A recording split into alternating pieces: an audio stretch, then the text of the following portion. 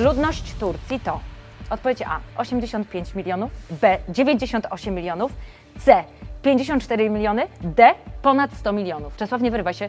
Dobrze. B. Źle. C. Źle. Ponad 100 milionów. D. D. Nie. A. No ale nikt nie nacisnął. Szybko, Czesław!